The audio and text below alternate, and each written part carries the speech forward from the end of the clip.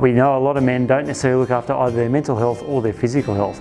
These two things are very closely intertwined and a bit of good physical health can really make a difference to your mental health.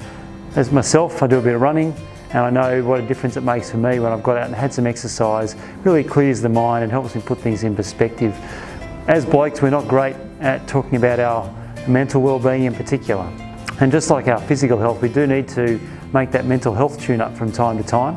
Uh, and so there's plenty of ways we can do that. You can of course seek out professional help, but often just talking to your mates is a great way to do it. So if it's a case of going along to a footy and sitting next to each other and chewing, uh, chewing the fat about something rather than just sitting down and having a deeply meaningful over coffee.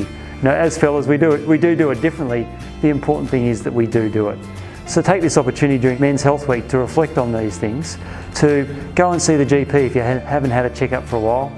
Next time you see AusHelp come to the workplace, jump in and participate in the health check. So, Men's Health Week, get into it, fellas.